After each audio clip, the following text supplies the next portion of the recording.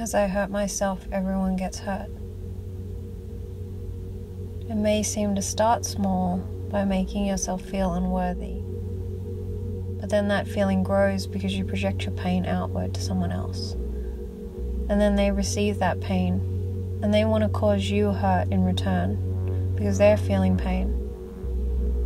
Or they absorb that pain and they hurt themselves. As I hurt myself, everyone gets hurt.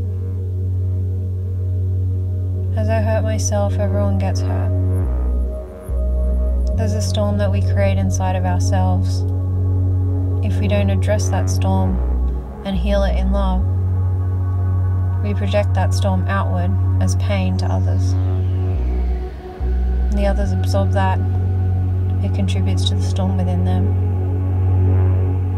A storm that keeps brewing and brewing, causing more pain and more destruction, making it even harder and harder to rebuild and recreate. As I hurt myself, I hurt everyone.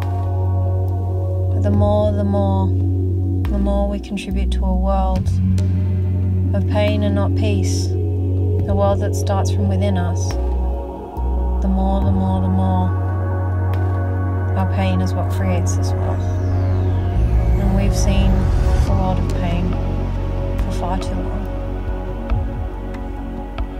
destructive, it's horrifying, and it's completely unnecessary. As I hurt myself, I hurt everyone. So the solution is to turn the hurt around and to allow ourselves to love ourselves. As I own my worth, there's a flow and effect of this too.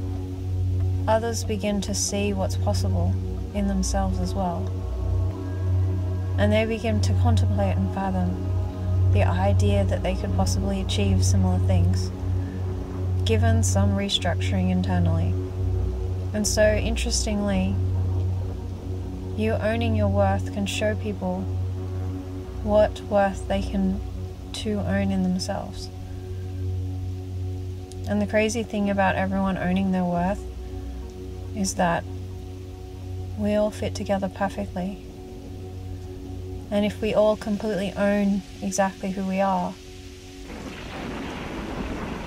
well, then we do have a place of harmony.